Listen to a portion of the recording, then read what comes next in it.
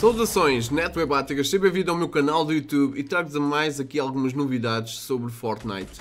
Portanto, a Eevee Sniper vai chegar e com ela um modo de jogo e esta é a Sniper que tira e te deixa logo de 4. Portanto, ela consegue eliminar estruturas, mesmo que seja de metal, ela com um tiro elimina aquilo tudo e basicamente vai ser uma arma muito lixada se for apanhada, neste caso se o loot resultar em, em sniper lendária.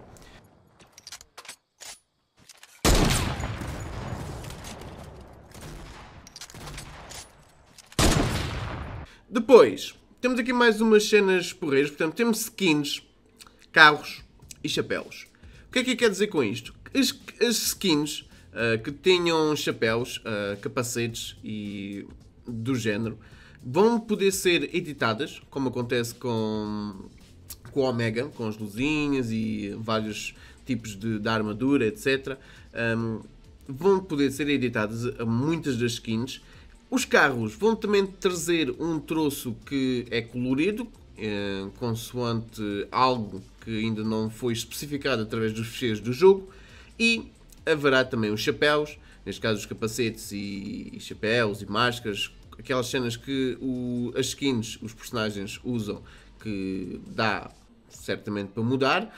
Portanto, vamos ver o que é que isso será um, trazido então pela Epic Games no próximo update. Os portais estão a encolher. Se vocês olharem para o céu, há portais a encolher e há novos portais a serem criados no mapa. Mas já aí vamos. Os portais estão a encolher e a, maior, a maior racha do portal, a principal, onde o viajante uh, abriu essa fenda no, no céu, que depois foi aumentando consoante o término da temporada 4, um, a maior situa-se por cima de Salty Springs.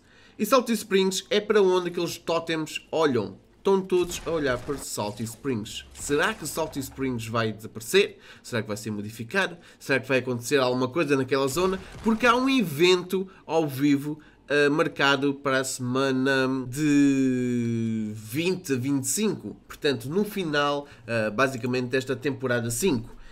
E uh, também existe agora uma oportunidade de, dos leaks de mexerem com os ficheiros do jogo, eh, na versão PC, obviamente, e conseguirem saber antecipadamente que itens vão para a loja nas, eh, nas atualizações. Depois, em Tomato Town, como eu estava a dizer, estão a aparecer novos portais, e em Tomato Town, no sítio onde desapareceu o Tomato Head, vai, ou já está, a aparecer um portal. Daqueles portais que transportaram a carroça, o esqueleto, está novamente um portal desses no sítio de Tomato Head. Será que Tomato Head vai regressar? Ele está nos fecheiros do jogo?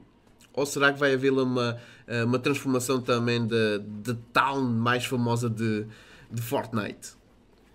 Era só isso? Vão aproveitando então estas últimas semanas de Fortnite, agora sim a coisa começa a aquecer, está quase a aparecer a skin misteriosa, vamos ver como é que acontece. Não se esqueçam que as skins que, que precisam de, de experiência para serem desbloqueadas vão continuar na Season 6 e até lá, ao próximo vídeo, nós vamos nos encontrando e falando uh, diariamente, semanalmente, quando houverem novidades então do mundo Fortnite. Sou NetWeb, espero que gostes do vídeo, partilhes e subscrevas.